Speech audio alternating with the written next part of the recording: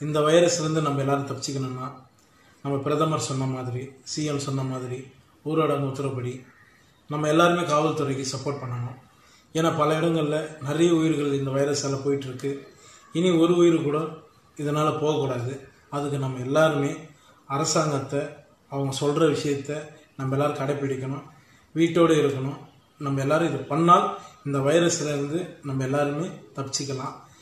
அது மட்டும் இல்லாமல் இதெல்லாம் தாண்டி நான் வணங்குற முருகப்பெருமான் அந்த முருகப்பெருமான் வந்து கண்டிப்பாக இந்த வைரஸ்லேருந்து நம்ம எல்லாரையும் காப்பாற்றுவார் எல்லா தெய்வங்களும் சேர்ந்து காப்பாற்றும் தெய்வங்களையும் நம்ம வண- வணங்குவோம். ரொம்ப நன்றி.